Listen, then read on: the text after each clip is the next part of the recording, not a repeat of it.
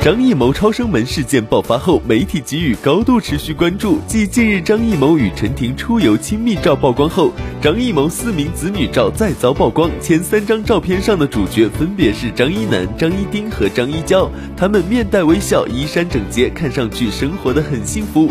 照片上这三个孩子与某媒体最近拍到他们时相比，相貌变化不大，证明拍摄时间相去不远。而第四张照片上，小女孩身穿一条白裙，做出跳。舞时的搭理动作，这个漂亮的女孩与风行拍到的那第四个女孩很相像。知情人证实，第四张照片上的这个小女孩是陈婷与张艺谋的第四个孩子，小名叫梅梅，名字应该叫张一梅。陈婷的前三个孩子与张艺谋都挺像，只有这第四个女儿长得像她。陈婷现在最疼这个小女儿。记者了解到，张艺谋、陈婷托关系把四个孩子送到某世界知名的国际性连锁教育机构学习。今年的学费是小学十六点九万，幼儿园十四点五万。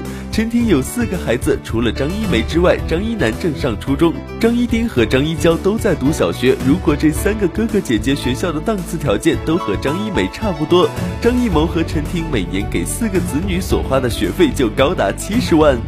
东星娱乐整理报道。